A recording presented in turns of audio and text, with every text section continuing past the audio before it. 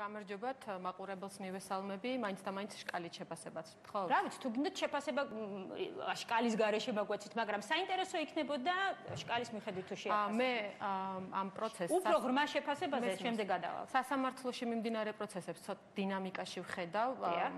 გვინდა თუ არ გვინდა ჩვენ გვიწევს შედარება რა გქონდა ადრე და რა არის დღეს.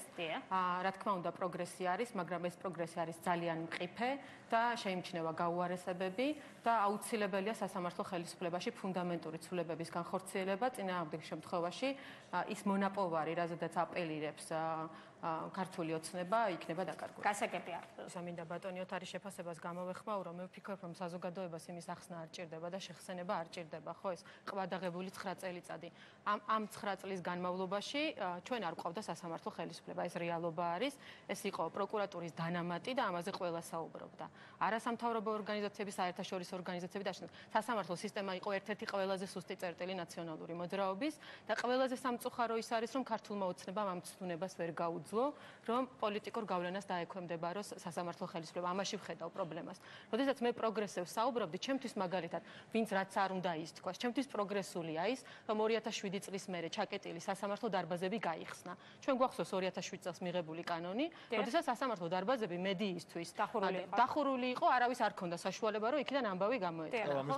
პირველი პირველი კანონ პროექტი, როდესაც ერთ-ერთი პირველი კანონ პროექტი, რომელიც საერთო სასამართლოების შესახებ კანონთან დაკავშირებით პარლამენტმა მიიღო, ეს იყო სასამართლო პროცესების გახსნა. მე ვფიქრობ, რომ ეს იყო ერთ-ერთი ყველაზე სერიოზული წინგადადგმული ნაბიჯი. მე ეჭვიც არ მეპარება, რომ თავდაპირველად მართლაც იყო ეს ჩანაფიქრი, ვფიქრი, რომ სასამართლო ხელისუფლება გათავისუფლებულიყო ზეწოლისგან, პოლიტიკური გავლენებისგან, შესაბამისი ცვლილებებიც იქნა იუსტიციის უმაღლეს საბჭოს შემადგენლობაში გათვალისწინებული, თუმცა დღეს მე ამ ასე ვთქვათ, ამ мотиваციას უკვე ვეღარ ხედავ და ამის მაგალითად მინდა მოვიყვანო სასამართლო რეფორმის ეგრეთ წოდებული მესამე ტალღა, რომელიც 2015 წელს არის შემოსული პარლამენტში და რომლის მიღებას ვერ ვეღირსეთ, იმ მარტივი მიზეზის გამო, რომ მთავრობა, რომელიც ამ კანონპროექტის ინიციატორია, უარს აცხადებს, რომ ინიციატეს მესამე მოსმენაზე არის საუბარი. მიუხედავად იმისა, რომ კანონ პროექტში მე იმედი მაქვს, რომ ამის გაშლის საშუალება გვექნება, უამრავი რამ გაუარეს და მიუხედავად ამისა, იქ არის მაინც პროგრესული დებულებები.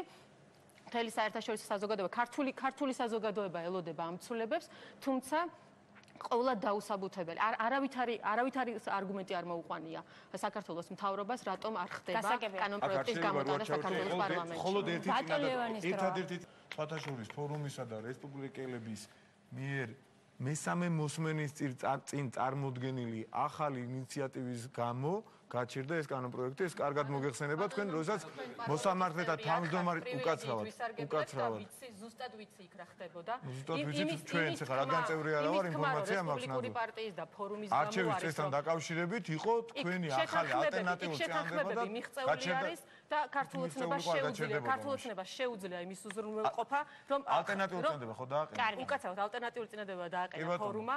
ჩვენ შევთანხმდით იმ მოსაზე იმ დებულებაზე, რომელიც განსაკუთრებულად პრინციპული იყო თქვენ ქონდათ ახალ წინდება რის გამოც არასწორ შევიყვანოთ შეცდომაში ერთადერთი მიზეზი რის გამოც?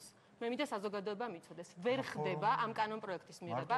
ეს არის ის რომ თავრობას არ გამოაქვს ინიციატივა მიუხედავად იმისა რომ სპიკერმა არაერთხელ გააკეთა მოწოდება თავრობის მიმართ და სთხოვა დასაბუთება რატომ ახლა კანონ პროექტი კარგით ლევან სამუშიასდრა უნდა გამოვეხმაურო ის რაც ითქვა ის რომ ჩვენ სამოქალაქო და ადმინისტრაციულ საქმეებში არ ერეოდა ხელისუფლება და ეს ახლა ხდება ეს ჩემი აზრით არასწორია და ამის მაგალითები უამრავი გვაქვს. იმედის საქმე გავიხსენოთ რომელიც სამოქალაქო საქმის კატეგორიას განეკუთვნებოდა როგორ მოხდა იმედის გადაცემა უკანონო მფლობელისთვის. ჩვენ ეს კარგად გვახსოვს ასევე გვახსოვს ადმინისტრაციული საქმეები ადმინისტრაციულ სამართალდარღვევათა საქმეები როდესაც ადამიანებს 90 დღიან პატიმრობას უშჯიდნენ აბსოლუტურად არაფრისთვის ან ელემენტარული ხულიგნობისთვის და კარგია რომ ადმინისტრაციული პატიმრობა პატიმრობის ვადა ახლა შემცირებული არის ეს მოხდა კოალიციური მართლობის პირობებში თუმცა ასევე ვერ გავიზიარე ბატონი მამუკას ოპტიმიზმს რომ სასამართლოში ასე ვთქვათ კარგად არის ყველაფერი და გავლენებისაგან სრულიად თავისუფალი არის ოდესაც ხელის ხელისუფლება სჭირდება და ეს ნახეთ ჩვენ ბევრ სასამართლო გადაწყვეტილებაში პოლიტიკური გავლენა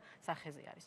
ვერც ერთმა რეფორმამ ვერ უზრუნველყო ის, რაც აუცილებელია. ეს არის მოსამართლის პიროვნული თავისუფლება. მე ვფიქრობ, რომ ყველა რეფორმა ამას უნდა ემსახურებოდეს და აუცილებელია კონკრეტული ნაბიჯების გადადგმა. ეკა ფოფხაძე მახსენა და დავით ანხბები, რომ ამ ხელისუფლებამ ხელიდან გაუშვა მნიშვნელოვანი შესაძლებლობა, რომ ეგრეთ წოდებული ქირურგიული ჩარევების გარეშე უზრუნველყო სასამართლო კორპუსის განახლება, იმიტომ რომ ჩვენ ამ ზაფხულს ვნახეთ, რომ დაახლოებით 50 55 მოსამართლე დაინიშნა ძველი მოსამართლე და კორპუსიდან, რომელთა მიმართაც პრეტენზიები ქონდა აბსოლუტურად ყველას, თუმცა ეს მოსამართლეების მოსამართლეები არიან და შეიძლება ხვალზე უვადოდ გამწესებულებად ვიხილოთ, მე ვფიქრობ, რომ ეს სერიოზული პრობლემაა. ჩემთვის ერთ-ერთი რესპუბლიკური პარტიის ჩვენ გვაქვს პროგრამა, სადაც ჩამოყალიბებული არის ხედვები სასამართლო ხელისუფლებასთან დაკავშირებით. ჩვენ ვფიქრობთ, რომ იუსტიციის უმაღლესი საბჭო დღეს არის ეგრეთ წოდებული მონსტრი, რომლის ხელში აბსოლუტურად ყველა გადაწყვეტილება, რაც სასამართლო ხელისუფლებას უკავშირდება, იუსტიციის უმაღლეს სკოლაში შესვლიდან დაწყებული მოსამართლის გათავისუფლებასთან გათავისუფლებით დამთავრებული ყველაფერზე გადაწყვეტილებას იღებს იუსტიციის უმაღლესი საბჭო. იუსტიციის უმაღლესი საბჭოს ფუნქციები ამ მიმართულებით უნდა შეეკვეცოს.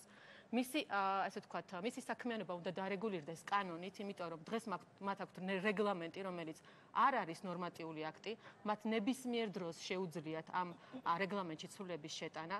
გარდა ამისა, იუსტიციის უმაღლეს საბჭოს უნდა კონდეს უფლებამოსილება, რომ შეარჩიოს მოსამართლეთა კანდიდატურები, მაგრამ ჩვენ ვფიქრობთ, რომ აქ კარგი იქნება შემოვიდეს პრეზიდენტის როგორც დამოუკიდებელი არბიტრის ინსტიტუტი, რომელიც დანიშნავს მოსამართლეებს თანამდებობაზე, ეს უზრუნველყოფს ასე ვთქვათ ამ შერჩევის პროცესში დამოუკიდებელი მოთამაშის შემოყვანას. კი ბატონო, ეს არის რესპუბლიკური პარტიის